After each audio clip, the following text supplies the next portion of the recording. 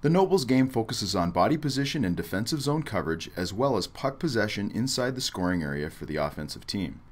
The game begins with three offensive players, three defensive players, and three additional players waiting to activate. The offensive team starts with the puck. Here White has good defensive side body and stick position keeping the play to the outside. Blue does a good job of puck possession, however, possession is easy on the perimeter. The object of the game is to create quality scoring chances inside the grade A area. Good body and stick position, blade on blade, create a turnover. White gets the puck to their awaiting three teammates, and now the blue players must defend. White makes a pass under pressure and then beats his man back to the scoring area. The second white supporting player is active and moves towards the puck, receiving a short pass. White quickly attacks the grade A scoring area, but a skilled defensive stick bails blue out.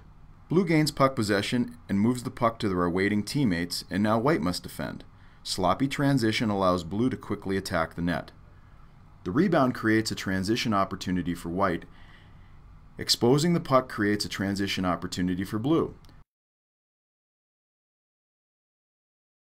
Conversely, blue does a good job of protecting the puck, which allows for a pass and a quick attack to the net. Blue gets the rebound and extends their offensive zone shift time in this next sequence by aggressively pursuing the puck. Here, blue has possession on the perimeter, but the supporting player does a better job of being active, thus gaining offensive side body position and creating a passing lane leading to a high quality scoring chance.